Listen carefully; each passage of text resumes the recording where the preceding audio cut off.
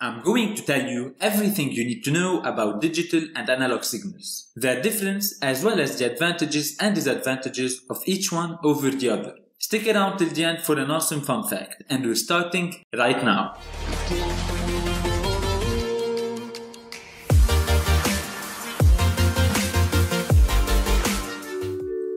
So you hear the word digital everywhere. It's kind of the new marketing buzzword. You have digital cameras, digital readers, digital televisions. Most things are turning into digital. But why? Let's start by understanding the difference between analog and digital. If you take the traditional mercury thermometer, for example, and try to read the temperature on it, you can see that the temperature is somewhere between 37 and 38 degrees Celsius. But you don't know exactly what the temperature is. It may be 37.5 or 37.49 or even 37.49576. You get the idea. On the other hand, take a digital thermometer. You will read exactly on it 37.5. It has a limited precision and can only detect changes greater than 0.1 degrees, so it cannot differentiate between 37.5 and 37.49. In other words, analog is continuously varying, while digital varies in discrete steps. Someone once shared with me this trick where he told me to consider analog to be a ramp, while digital to be stairs and I actually find it quite helpful to memorize the difference between analog and digital.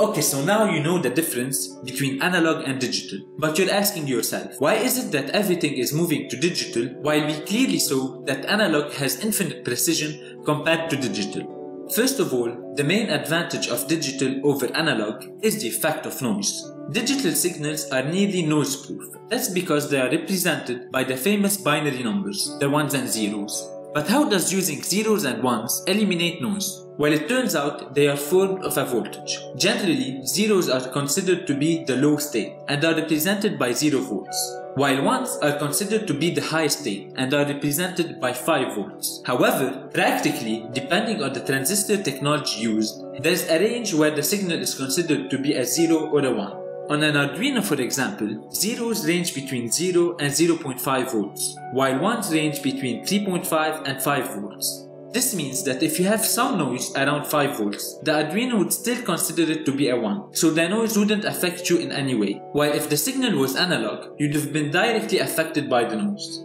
Finally, the voltage between the high and low state are considered to be the unstable state, where you can't predict whether it is a 0 or a 1 but usually noise wouldn't put you in this state. Another significant advantage of digital over analog is its ability to be copied an infinite amount of times without degrading, since we are just copying a sequence of zeros and ones, while analog degrades on every playback and copy, since it is directly affected by physical damage like friction on vinyl discs and magnetic interference on analog cassettes. Also, there's power usage. Since analog signals have very low impedance, similar to a short circuit, they draw a lot of current and therefore need a lot of processing power. To the contrary of digital signals that have extremely high impedance, similar to an open circuit, and thus barely draw any current. Finally, digital signals use much less data, since it just decodes one value with a limited precision for every step of time to the contrary of the continuously varying analog signals that use tremendously large amounts of data. Therefore, digital signals can be transmitted, manipulated and stored much more easily.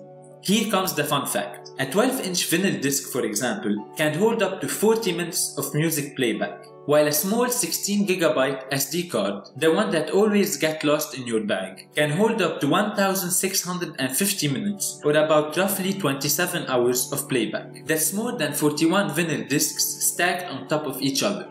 But then, is digital always better than analog? Well, no. The only advantage of analog over digital is that it's much cheaper. But as technology improves and as we're moving more and more towards digital, the cost of digital technology is dropping significantly. And therefore, it's just a matter of time before analog becomes just a part of history.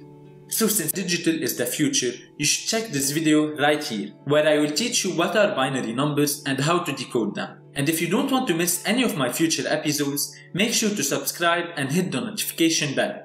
I can't wait to see you in the next episode.